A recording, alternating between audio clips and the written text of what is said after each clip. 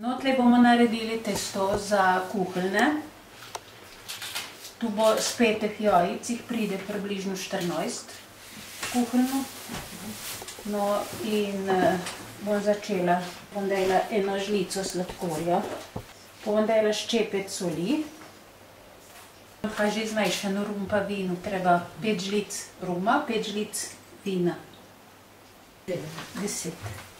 E che važno kakšno vino je? Bejlo polovico vanilije, 5 žlic kisle smetane,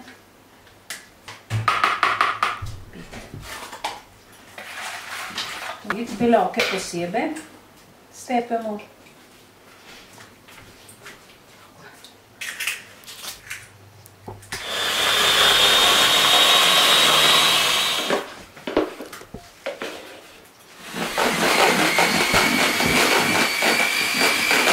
Približno pol kile, no, pol pa različno, kakšna so jajca, smetane, enkrat malo več, enkrat malo Torej že imamo občutka, ne, Ja. če ne rabite.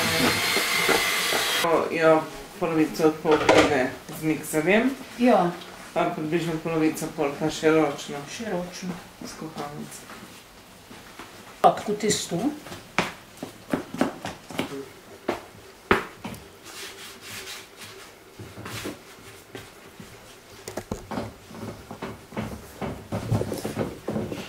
Še nožično. Bomo pa razrezali na 14 čihmo.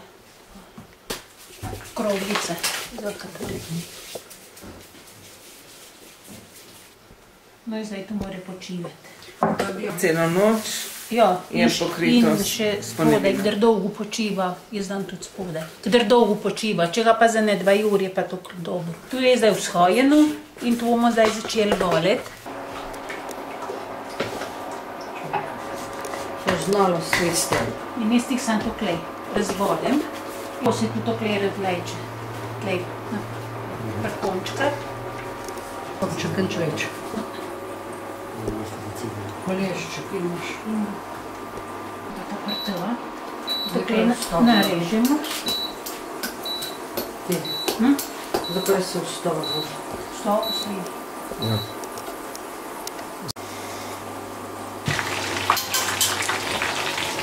Prosto rumeno se jih gost. dejansko rabiš čas, ne, če se zaposlen domov že že. Tako se kjerkrat. Zdaj pa jih